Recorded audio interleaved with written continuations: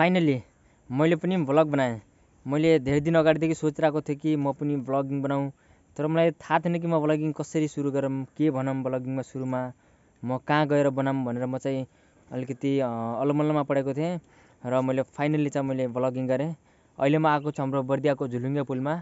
यो चाहिँ सद्गुरुमा पर्दछ र घरदेखि चाहिँ मैले धेरै टाढा आएको छु। यहाँदेखि चाहिँ घर मेरो लगभग ढाई तिन किलोमिटर टाढा छ। अब तपाईँहरूलाई छोटकरीमा भन्दाखेरि चाहिँ अब मेरो नाम टिकाराम खनाल हो। मेरो घर चाहिँ बर्दियामा पर्छ।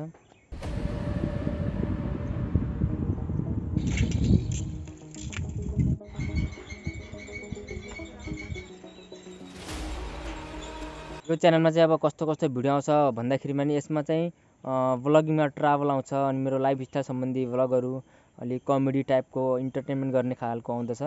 अहिले चाहिँ म चाहिँ मेरो पहिलो भ्लग भएको कारणले गर्दा चाहिँ अलिकति बोल्न चाहिँ अलिकति डर लागे जस्तो अलिक नर्भस फिल भइरहेको छ। किनकि फर्स्ट भ्लगमा अभियसली त्यस्तो सबैलाई हुन्छ मलाई थाहा भएको कुरो त्यही पनि ट्राई गरेको छु मैले अलिकति राम्रै पर्फर्मेन्स गरौँ भनेर।